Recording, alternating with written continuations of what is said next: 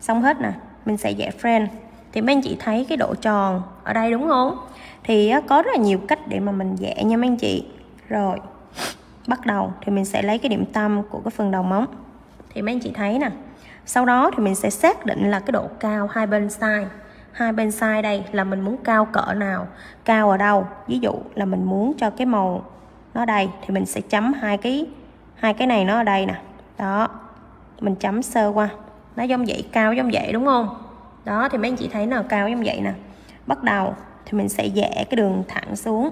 Ở đây là cái cái, mình có nhiều cách để vẽ nha mấy anh chị. Rồi, vẽ cái đường thẳng xuống.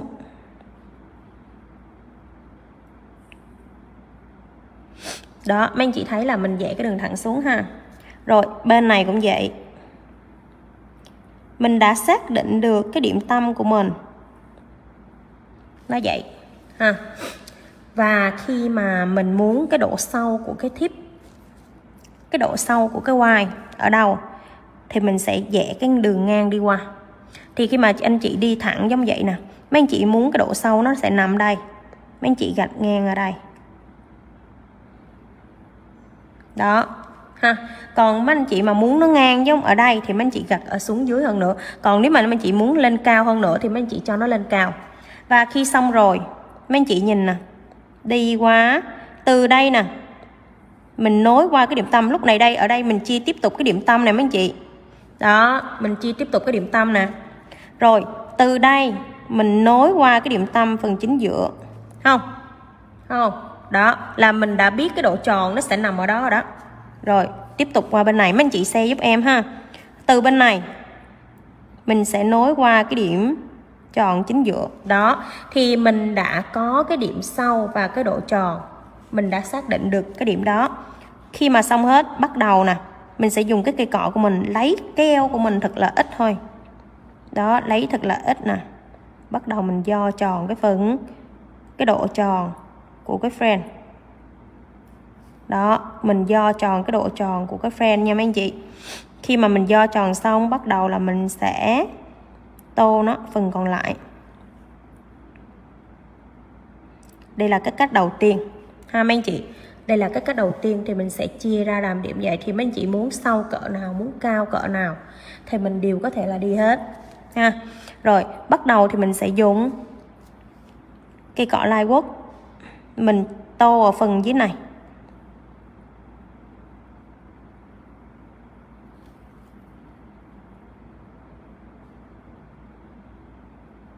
Tô phần trên này.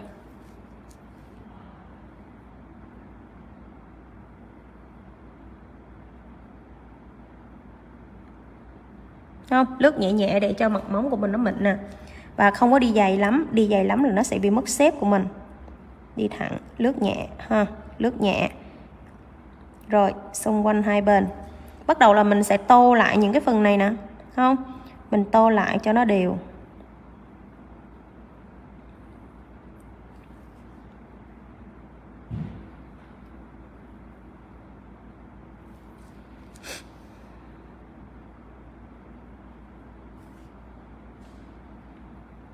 Đó tô dùng cái cây cọ lai quốc là mình có thể là đi luôn.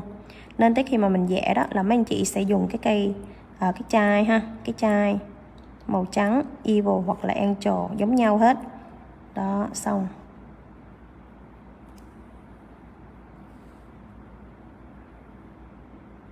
Đó lúc nào mình cũng cho cái phần đầu móng có màu nha mấy anh chị. Đó cho có màu nhẹ nhẹ thôi trước khi để vô máy nè, mấy anh chị sẽ nhìn và xem lại cái đường line của mình có đều hay chưa.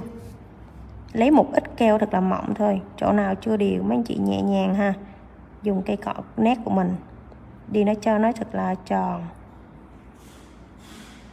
Đó, đi cho nó đều và cho nó tròn. Cái này ướt gì nó được trôi lại ha. Lỡ tay mạnh tay chút xíu đi hết cái cái đường line của mình.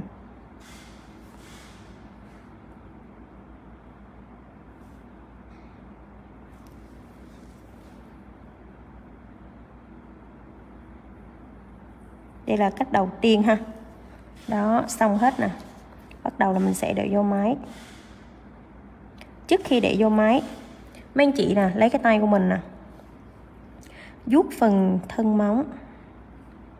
Đó, vuốt nè. Thành móng thôi. Mình vuốt phần thành móng nè. Rồi bên này cũng vậy. Vuốt phần thành móng.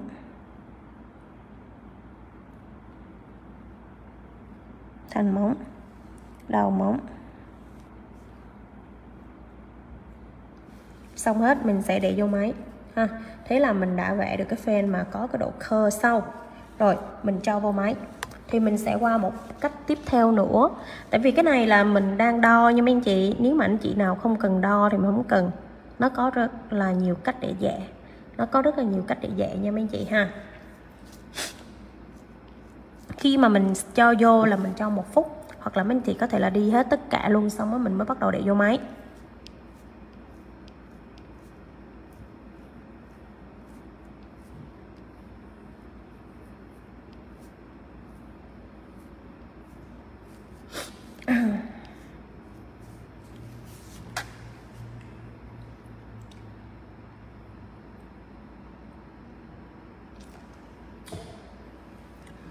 đó ít nhất là mình cho cái cái cái, cái tay của người khách vô một phút đi ha.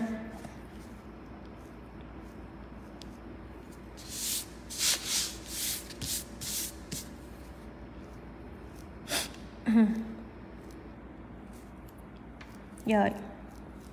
Khi mà xong này mấy anh chị thấy không? Xô dễ thương luôn rất là dễ thương nha. Rồi khi mà xong cái phần này đây là cách thứ hai cách thứ hai của mình đó thì mấy anh chị, nếu mà mình người, anh chị nào mình mình nhắm được cái phần đầu móng đây, mình không cần nhắm nữa, là mình trực tiếp nhắm chỗ này luôn. Nha. Nhưng mà cái cách này là tỉ mỉ nè. Còn á, cái cách này là tỉ mỉ nhất nè. Mình sẽ đo, chia theo số đo, cho nó hoàn chỉnh. Còn cái cách này là mình sẽ nhắm, tại vì đôi lúc á, thì mấy anh chị đã biết rồi, mình chấm đây cái, không, mình tránh làm 3 chấm, một chấm đây và một chấm ở đây đó có phải là mình đã đo được cái phần critical và cái độ xấu của cái phần mà à, cái phần mà độ tròn là mình cần? Là mình có thể là vẽ từ trên. Thì cái phần này thì mình đòi hỏi là sao? Khi mà mình anh chị vẽ đó là mình đã nhắm được rồi nha. Tức là mình đã biết được cái độ sâu và mình đã đi được giống vậy thì mình sẽ nhắm về cái phần kia. Mình sẽ vẽ trực tiếp giống vậy luôn.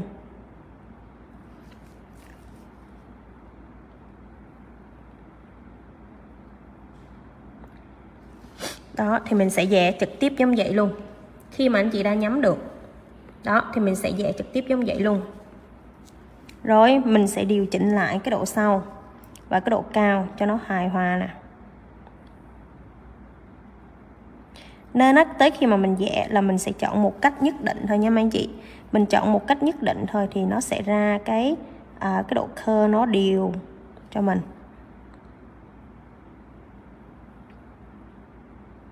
Đó khi mà mình đã vẽ được cái đồ tròn rồi.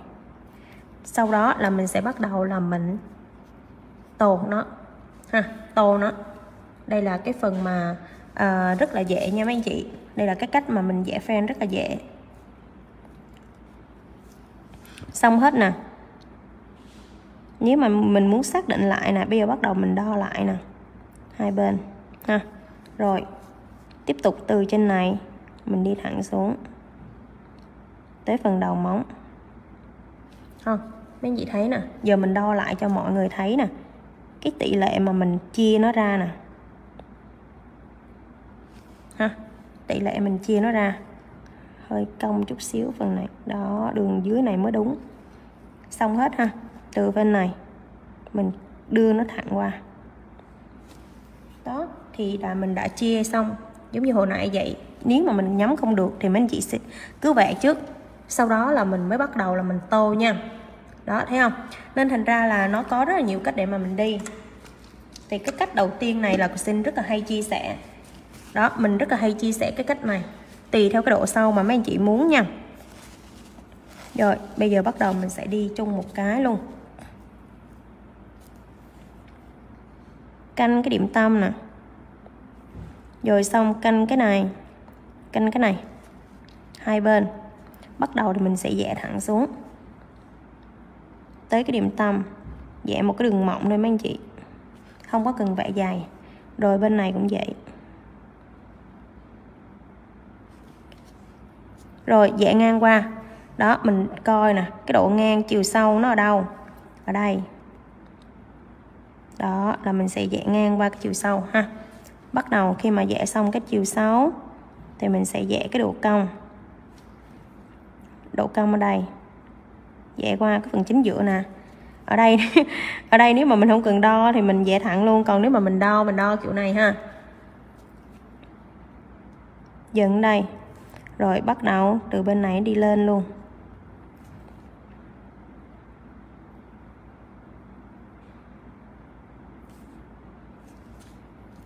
Lấy nước sớm, tôm.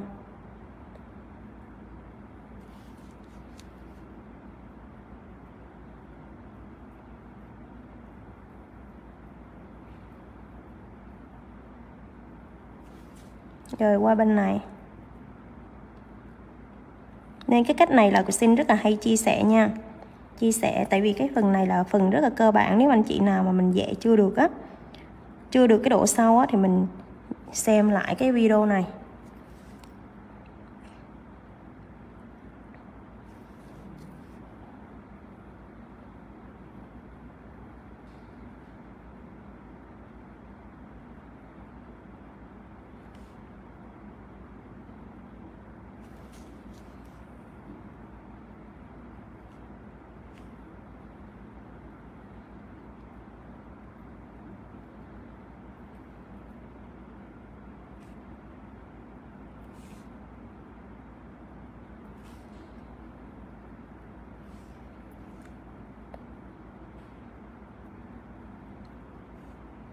Rồi, qua ngón khác. Tiếp tục mình chia nè. Hai bên mình nhắm cái độ sâu nha. Chấm cái chấm cái. Từ bên này là mình vẽ xuống. Mình muốn độ sâu như thế nào là do mình nha mấy chị? Rất là dễ vẽ. Rồi, qua bên này.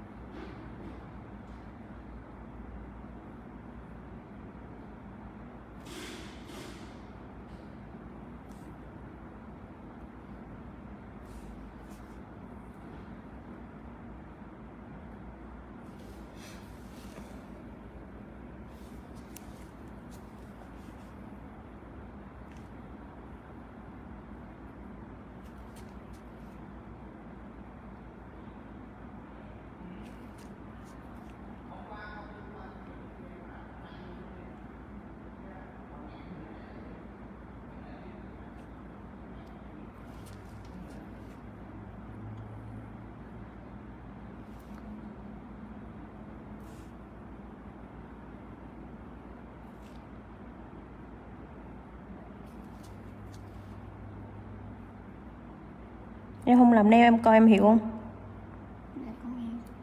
Hiểu. À không làm nail coi cũng hiểu luôn. Đó mình chia điểm tâm ra ha. Xong mình chia cái độ sâu ra. Cái hai bên này là tượng trưng cho cái độ sâu mà cái quai của mình đi lên. Còn cái phần ngang này tượng trưng cái độ sâu của cái thiếp mà mình muốn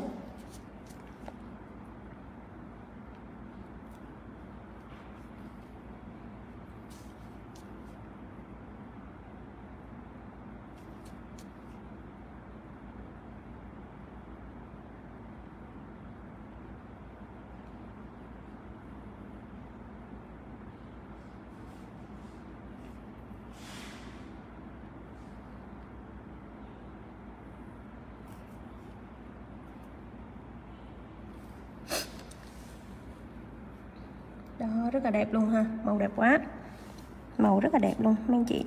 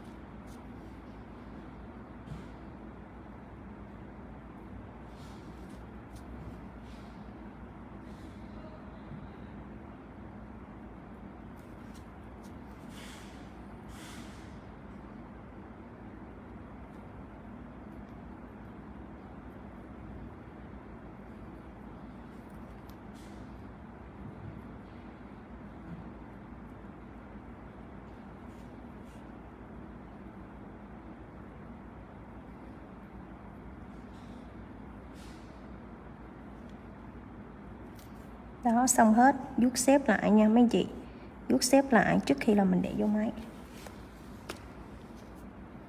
Đó, friend rất là dễ thương nha. Màu này đi rất là đẹp luôn. Đó, vuốt nè, vuốt cái thành móng thôi. Nên tới khi mà mình đi cái phần màu friend nó cũng đi đừng có đi dày quá. Không? Và cái màu trắng này khi mà anh chị để vô, bất cứ màu trắng đen nào để vô là đi một phút giùm em. Đi một phút giùm em nha. Rồi, để vô máy nè dễ thương quá.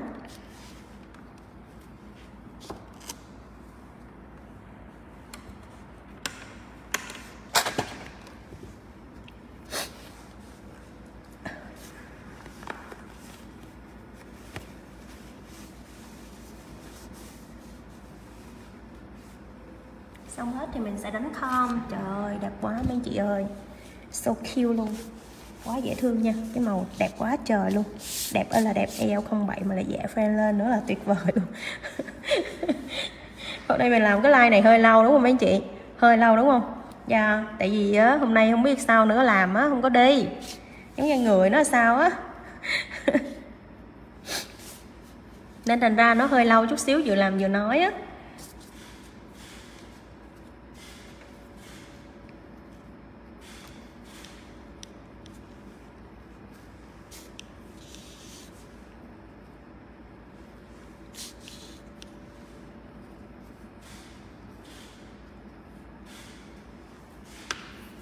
Rồi, khi xong hết nè. Rất là đẹp luôn nha mấy anh chị. Trước khi là mình ờ, đánh khom lên, thì trên này, trong này là xin bận dự vậy. Bây giờ hiện hôm nay thì mình đánh khom cái phần tiếp thôi. Thì nếu mà mình thấy vậy thì mình thấy nó dễ, đúng không mấy anh chị? Nhưng mà có một số thì lát nữa là mình đánh, mình lưu ý nha mấy anh chị. Phần này xong, là của xin sẽ chỉnh lại cái phần mà, cái cái độ tròn của cái phần mà cái cái cái màu trắng trước một chút xíu đó, luôn luôn là cho nó khô đã xong mình mới chỉnh nha. Tại vì khi mà mình đang, nó còn ướt á, mình chỉnh á thì nó không có đẹp. Không? Chỉnh lúc mà nó còn đang ướt thì nó không có đẹp. Nên thành ra đợi tới khi khô á, đó, mình đi một cái đường rất là mỏng mỏng thôi. Cho cái đường line của mình nó mướt ha.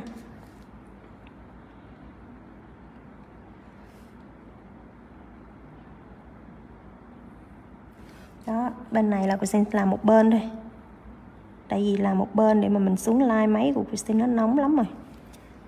Đó, kéo cái dây điện ra đã. Lát nó tắt like giữa chừng á tại nó nóng quá đó.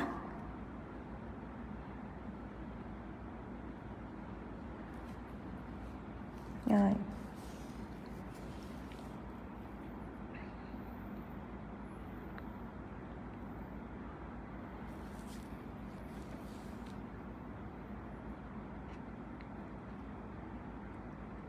Rồi khi mà xong cái phần này ha, mấy anh chị để vô máy, mình khoan để cái khom lên nha mấy anh chị. Mình khoan để cái khom lên, để vô máy nè. Mình sẽ sơ một lớp thấp lên trước. Lý do sao biết không? Tại vì cái màu trắng mình đã một lớp rồi. Lát mình thêm một cái lớp khom, đánh khom lên nữa thành ra khi mà mình làm xong á, mặt móng mình của mình không mướt, nó qua nhiều lớp quá. Nên để cho khi mà mình, trước khi mình đánh khom thì mấy anh chị sơ một lớp thấp khốt lên trên cái bề mặt của cái màu trắng với cái phần ờ, phần ờ, phần màu của mình lên ha. Để khi mà lát nữa là mình mới bắt đầu là mình đi khom thì trong cái phần này tức là khi mà mình làm mình phải chấp nhận đôi lúc thì nó hơi dày chút xíu hay là nó uh, nó gồ ghề chút xíu. Nhưng mà mình sẽ tối đa tuyệt đối là mình không cho nó gồ ghề ha không cho nó gồ ghề. Tại vì khi mà mình qua một lớp top á nó giúp mình thứ nhất là mình bảo vệ cái màu màu trắng cái thứ hai nữa nó giúp cho mình là cái mặt móng và cái đường line của mình nó mướt ha. Và thứ ba nữa khi mà mình đánh khom lên nó sẽ không có làm nó sẽ không có một cái đường ờ, uh, đó giống như bị lõm vậy đó. Ha mình sẽ sơn một lớp thấp lên nè. Thật là mỏng nha mấy anh chị phần này là mình đi thật là mỏng thôi. Không có đi dày nha mấy anh chị không đi dày. Đi thật mỏng nè sơn một lớp thấp thật là mỏng.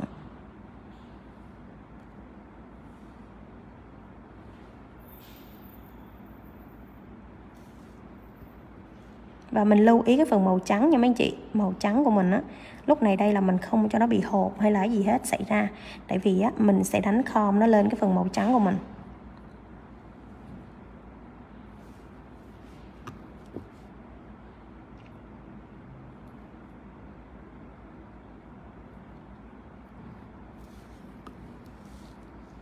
Đó, mình để cho cái sơn, cái thóc này cho nó hơi khô đó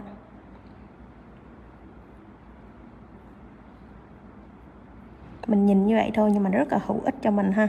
Tại vì sơn như vậy là nó sẽ bảo vệ cái màu trắng của mình thứ hai nữa. Cái đường nối của mình nó sẽ giảm bớt là độ g đi ha. Đó, nhớ vuốt xếp hai bên nè. Nên lúc mà màu trắng của mình nó phải thật là mỏng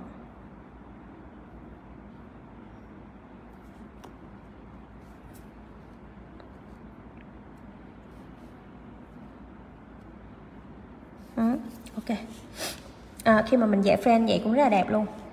Thực sự không có cần đánh com nữa. Rồi xong ha, bước kế tiếp của mình sẽ dùng cái com bay. Đây là cái phần com bay của mình. Thì khi mà mình làm cái phần này thì mình sẽ cần một cái dĩa. Cần một cái dĩa nha. Cần một cái dĩa.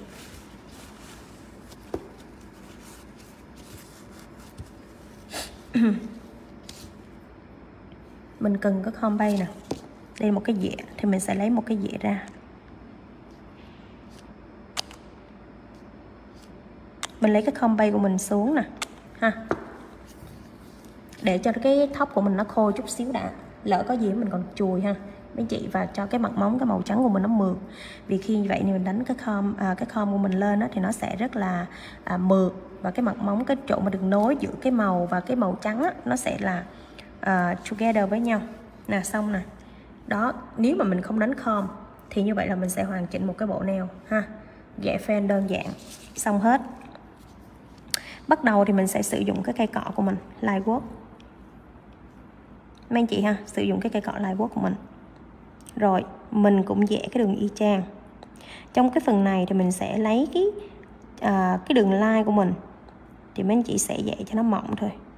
Không có cần đi dày ha. Mình sẽ vẽ cho nó được khéo đi xung quanh cái đường viền này. Tại vì chỗ nào mà có com bay á là nó sẽ ăn cái com của mình nha mấy anh chị. Đi không bay nè. Đi cho nó thật là mịn, cho nó mướt và cho nó mỏng xong hết ha. Khi mà mình đã có không bay đây, cho một chút xíu, tại vì không bay của mình nó nó mỏng hơn và nó lỏng hơn phần thấp cốt của mình và nó lỏng hơn cái treo của mình. Nên thành ra là mình không có đi cần đi dày quá. Mấy chị chỉ cần cái đi cái cây lai quốc nè, đi mỏng lên. Đi cho nó được đều nha vì chỗ nào có không bay là mình sẽ đánh cái không của mình nó ăn. Và khi mà mình đi nè, mình ngước lên như vậy thì mình sẽ thấy thấy chỗ nào có cái com chưa, hoặc là không. Đi cho nó thật đều, vô. Ha, kéo nè. Mình nhẹ nhàng thôi. Chủ yếu là nó không có cho nó bị hồ. Ha thì mình đã đi xong cái phần không bay nó phần nằm ở phần dưới.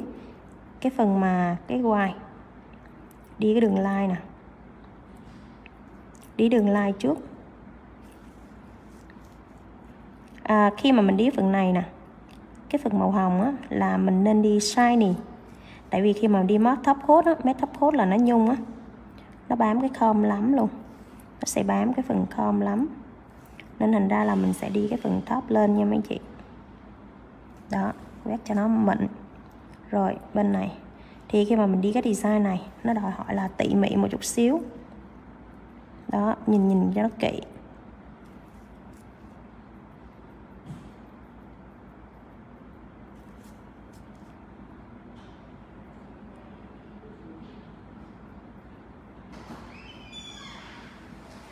Đó, mình vẽ ha. Tô này ha, nhìn lên nên tại sao là mình cover một lớp top coat trước? Để cho nó bớt gồ ghề á anh chị. Đó, xong. Dạ xuống. Cái design này, nó nhìn nó rất là đơn giản và rất là dễ làm. Nên á, chủ yếu là sao? Cái phần mà mình outline, cái phần combi này nè. Đó, là mình không có đi, mình cố gắng mình đi cho nó là đều. Mình cố gắng mình đi cho nó đều đều nè.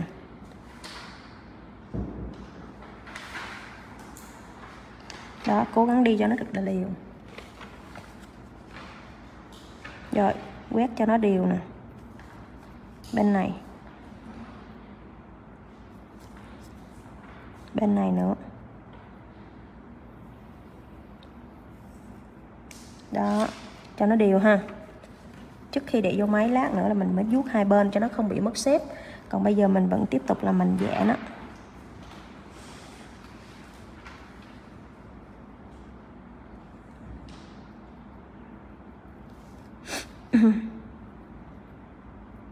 Bên này cũng vậy.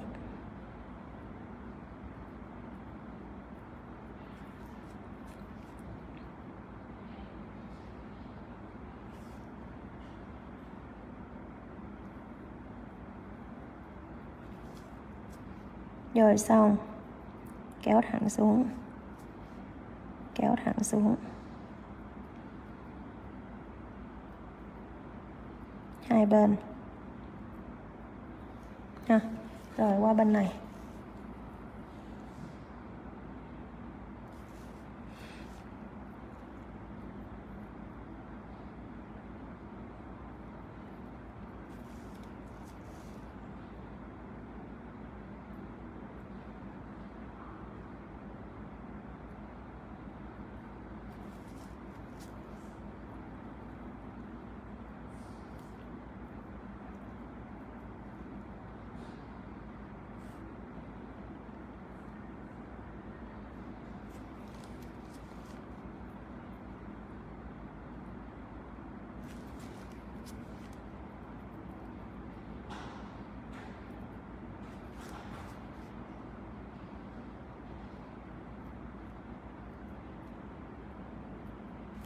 Rồi xong hết nha. Trước khi để vô máy nè, mình sẽ lấy cái tay của mình, vuốt hai bên, để chắc chắn là cái shape của mình nó không bị mất nha mấy anh chị. Hai bên. Đó, và mình nhìn lại cái phần mặt móng, cái màu trắng của mình, nó có mượt hay chưa, hay là nó bị hột gì đó không? Mình lấy nó ra. Tại vì không lấy ra lát nữa để mình đánh nó có hột ha. Rồi, hai bên. Vuốt xếp trước khi là mình sẽ để vô máy. Rồi, xong để vô máy nè khi mà xong thì mình bắt đầu là đánh com uhm. Ừ.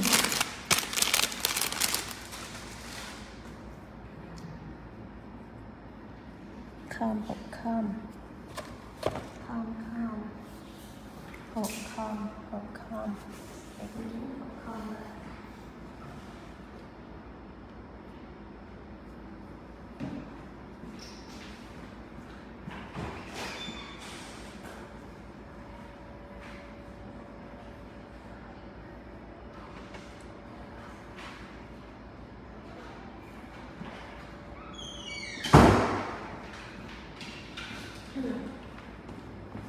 rồi, mình sẽ hơi cho nó là một phút nha mấy chị. Hơn một phút nè. Bây giờ mình sẽ đánh khom lên để xem cái người khách của mình thích màu. À ok. Rồi, bây giờ là mình cho cái người khách của mình là white ok, cho white đi. Đó, người khách nãy giờ đòi white thì mình cho white nha. Tính cho màu khác rồi. Nhưng mà thôi, khách muốn white mình cho white luôn. Hôm nay mình cũng làm một cái bộ white đó giờ mình đi trên cái nền trắng super trắng nha. Đây là cái mermaid white số 4 ha rồi đánh lên. Cách màu gì là mình chiều màu đó ha. Đánh một ít lên nè. Mấy anh chị khi mà mình đánh á, không cần nhiều nha. Mình không cần nhiều. Mình giảm chút xíu nè. Đánh lên. Đó đẹp không? Rất là đẹp nha mấy anh chị. Giờ giảm lên đánh lên.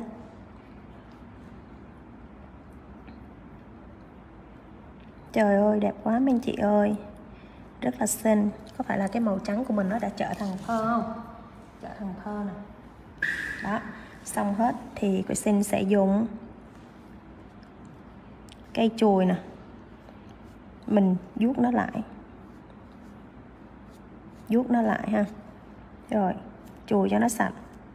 Lát nhựa cái phần này, mình sẽ dùng một chút xíu acetone hay cây cọ gì đó mình chùi cho nó sạch cái phần khom của mình nha mấy chị. Đó, chùi sạch cho nó phần khom của mình một chút xíu. Rồi, bên này. Bên này, đánh nha đánh lên, ở dưới phần màu trắng thôi.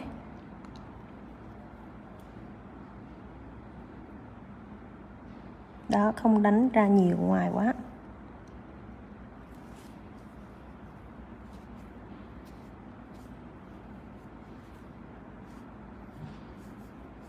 đó màu rất là xinh nha mấy anh chị.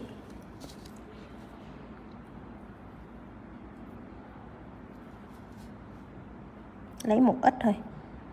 Một ít thôi, đánh nè. Chà, lên cái chỗ mà có khom.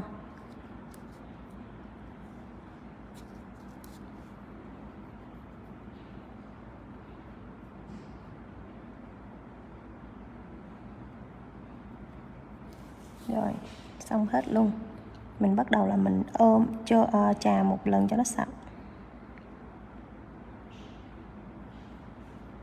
Bên này.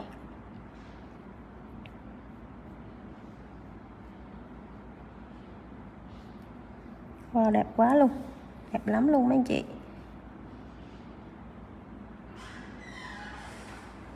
Trà đánh lên. Mấy anh chị thấy rõ không? Thấy rõ không? Thấy rõ không, bé? Đẹp không? Đó, xong ha. Bắt đầu là mình sẽ chùi cho nó sạch cái phần mặt móng nè. Không không có còn cái bụi khom nữa. Đẹp lắm luôn. Rồi, qua bên này. Để lát cô xin chia sẻ xử lý luôn. Cách xử lý luôn ha. Nếu mà mình làm mà nó khom bị dính ra ngoài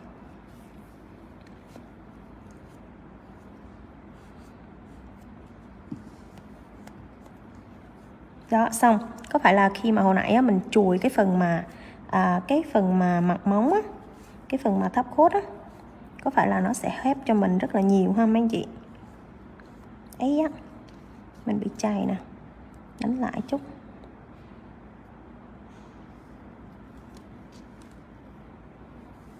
Đó chùi cho nó sạch ha. Đó khom rất là tuyệt vời luôn. Nên tại sao hồi nãy là mình sơn cái phần thấp lên? Rồi để cho nó sạch sẽ nè. Mấy anh chị sẽ dùng cái cây cọ của mình. Trước khi là mình sơn thớp, mấy anh chị dùng một chút xíu acetone ha chụp một chút xíu acetone. Tại đôi lúc á, những cái cây đánh khom của mình á, nó sẽ bị vướng vô cái cây cọ của mình. Thành ra là nó sẽ làm cho nó dơ. Đó mấy anh chị nè. Dùng cái cây này. Nhúng một ít acetone ha. Đó chùi cho nó sạch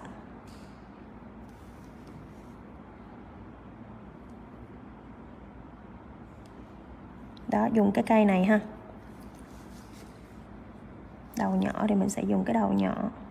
Khi mà mình dùng cái đầu này thì mình sẽ nhanh tay một chút xíu nha mấy anh chị. Đó, chà, cho nó đi quên.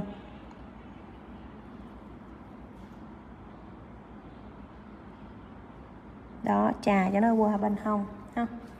Đó, mình chà cho cái mặt móng của mình á, cho nó sạch cái phần khom của mình. Nếu trong lúc mà mình làm nó có dính khom không lật ngược cái tay lên lại để cho mình dễ thấy nè, mấy anh chị. Đó lật ngược cái tay lên lại để cho mình dễ thấy ha. Chà, cho nó sạch cái mặt móng. Trong trường hợp nó dính nha, mấy anh chị. Không dính thôi, ngón này nãy dính nè. Nên thành ra là phải xin dùng cái cách này ha. Mà khi mà cái cây mà trà xong á là mấy anh chị phải bỏ nha. Với lại xài nhanh một chút xíu. Trà nhanh một chút xíu nó giống như cục bông gọn vậy đó, nhưng mà nó có cái tay cầm của mình. Rồi, xong hết nè, qua ngón này. Ngón nào mình, cái ngón mà không có chà cần á thì mình chà cho nó sạch. Tại vì đôi lúc á, cái cái bụi khom nó sẽ dính vô cái móng thịt của cách thành ra là làm xong nó không có bóng không, nếu mà mình chà được cứ chà ha. Đó, chà sơ chà sơ nè ha. Thấy nó bóng không? Rất là sạch sẽ ha đó, tại vì đôi lúc cái khom rất là mịn nó ăn vô cái phần mà cái màu nè không? Đánh nó.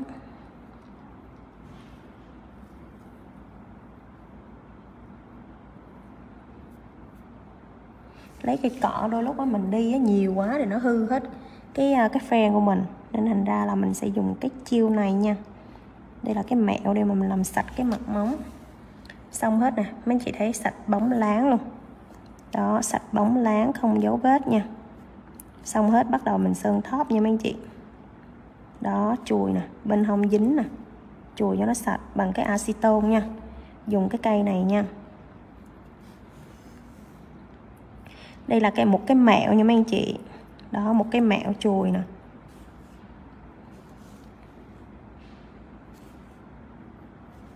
Rồi, xong hết nha. Bắt đầu là mình sẽ sơn thóp. Xong hết nè sơn thấp lên, mấy anh chị thấy sạch sẽ không? Là cái đầu móng của mình chỉ là friend thôi. Rồi, top coat, đến sau là tôi xin làm từ từ thôi. Tại vì chủ yếu là mình làm chia sẻ đó. Rồi, đây nó còn hơi một chút xíu này. đó, hơi chút xíu đúng không? Đưa cái đầu, đưa nó sát vô. Chùi thêm miếng nữa. Cái này là mình sẽ để gần nó mình mới thấy được. Đó, xong. Đó, đẹp rồi. Quá đẹp rồi, không chùi nữa. Tỉ mỉ quá. Rồi xong hết, mình sẽ sơn thấp hốt lên. Đó, cover nha. Lúc này đây mình cover lớp thôi. Ok nè. Đó, sơn đi sơn lại cái chỗ mà hả, com nè ha. Đó, mà giờ thấy không? Nó không có bị gồ ghề ha. Không, mình hồi nãy là mình đã bảo vệ một lớp thấp rồi, không? Thành ra là nó rất là sạch không? Là cái mặt móng nó flat luôn, tức là nó bằng phẳng luôn ha. Chứ mình không có đợi hai lớp một lần thì hai lớp một lần nó giống như là bị cái đường nối vậy đó. Nó bị lõm xuống. Cover nó. Và cái phần cover của mình nó cũng rất là quan trọng nha mấy anh chị.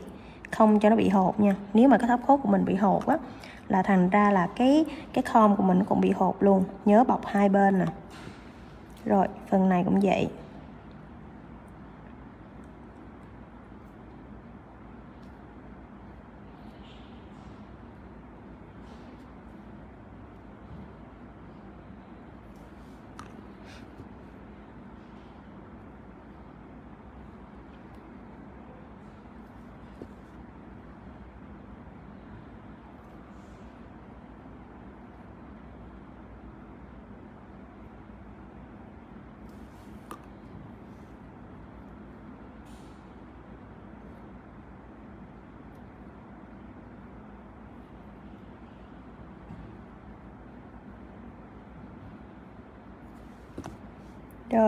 Rồi hai bên, không cho bị mất mất xếp nha. Luôn luôn là mình tắt khe nè, đi mỏng thôi mấy anh chị, nên sao là mình không có đi dài nha. Đi dài nhiều lớp quá, thành ra nó sẽ bị mất xếp của mình.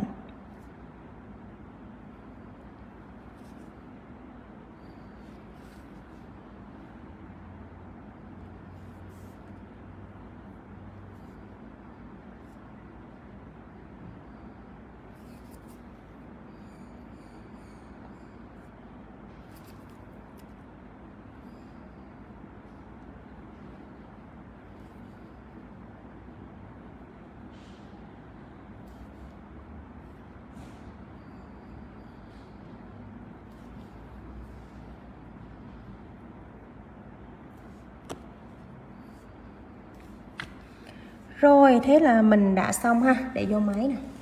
Wow.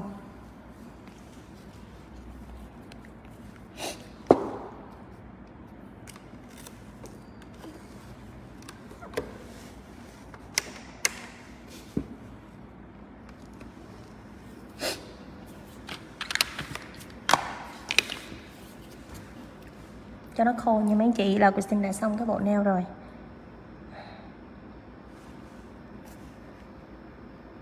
Mình hơi cho nó là khô cái phần thấp khúc của mình ha.